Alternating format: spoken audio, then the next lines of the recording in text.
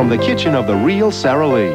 Have kids coming over? Get out a Sara Lee pound cake, slice it, and spread fresh fruit and whipped cream in layers. And when the kids get there, just take a bow. Nobody does it like Sara Lee.